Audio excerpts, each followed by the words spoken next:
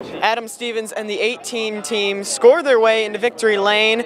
I think part of the credit should go to you with the winning call. You know, what was your thought process on having Kyle stay out with and eventually have fresher tires? Well, we had a really fast car all day, especially clean air, and we got a little bit loose at one point in time in the race with the two car behind us and uh, gave up some track position, and we just couldn't quite muscle our way back to the front. So when we got into the last pit window, um, the, the 11 and the 78 were far enough in front of us that even if we pitted a lap before them, I knew that we wouldn't cycle out in front of them. So at that point, we had to do something different.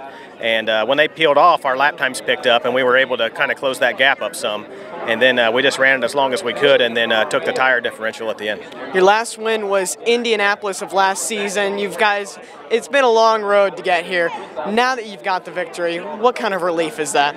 Well, it's a huge relief. You know, it, would be one thing to go an entire year without winning if you didn't have fast cars every week, but we've been so fast and had so many opportunities to slip through our fingers. It's uh, it's almost bizarre if you write them all down on paper. So, uh, you know, today we had a little bit of luck on our side, and you know, I really felt like coming into this weekend that it was going to be our race to lose. And you know, when a couple things start going your way, like it did for first round of qualifying, we barely squeaked through and uh, able to get to pole and nearly slid through the box one time and didn't.